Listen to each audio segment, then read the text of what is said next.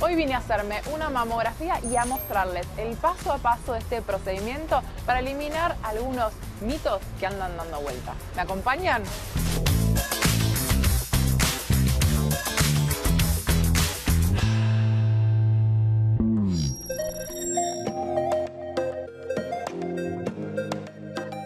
Francesca, ¿qué tal? Pasada, buenos días.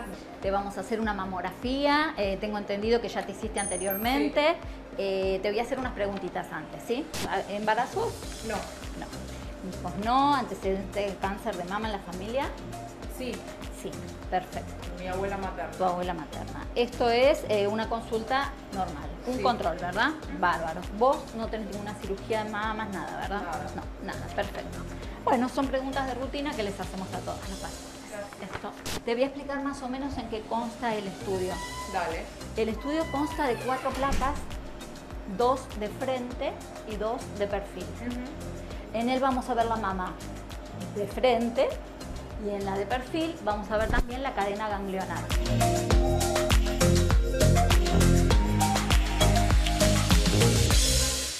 ¿Y cuando tienen prótesis mamarias, es lo mismo? Cuando tienen prótesis mamaria se llama mamografía con técnica de Edklum.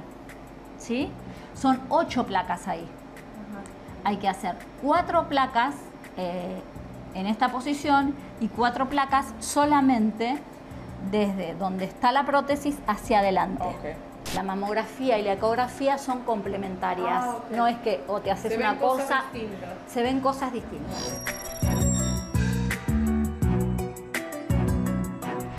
Bueno, y ahora me va a recibir la doctora Mónica, en este caso para hacerle un montón de preguntas, de dudas que seguramente ustedes también tienen.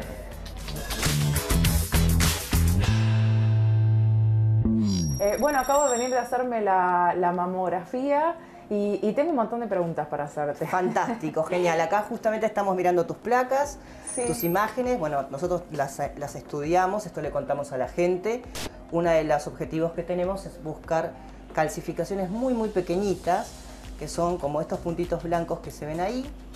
Bueno, hay otras que son más chiquititas todavía y necesitamos poder verlas. Cuando nosotros hacemos, obtenemos una imagen, al poder obtenerla en las dos, en las dos posiciones, cráneo caudal y medio oblicuo lateral, estamos teniendo información de todo lo que pasa en el sector externo, en el sector interno, en el sector superior y en el sector inferior de la Perfecto. y nos llevamos una idea global tanto de la derecha como de la izquierda. Estos segmentos, estos, estas eh, áreas, quedan tapando estructuras que podrían estar como pequeños nodulitos, quedan tapados ahí y no son fácil visualizarlos en la mamografía. Entonces, estas, este tipo de tejido es lo que hace que la ecografía nos permita visualizar qué está pasando por dentro de este tejido. Tenía entendido de que la, la mamografía la primera vez te lo tenías que hacer cuando cumplías los 40, pero la doctora, cuando mi doctora cuando cumplí 35, me preguntó un par de cosas y me mandó a hacer la mamografía. Y ahí quería saber un poco cuándo es que la mamografía es antes de los 40 y por Bien. qué.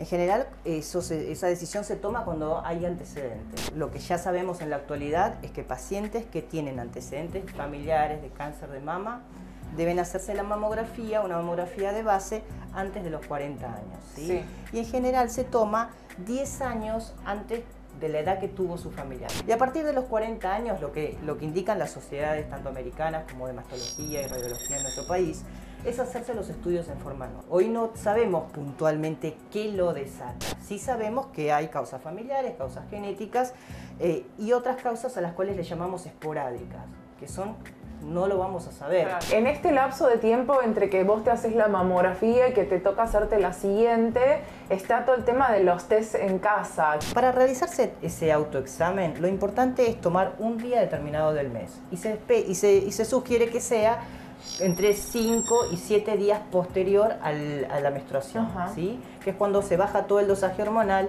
y la mama vuelve a su estado normal, entre comillas.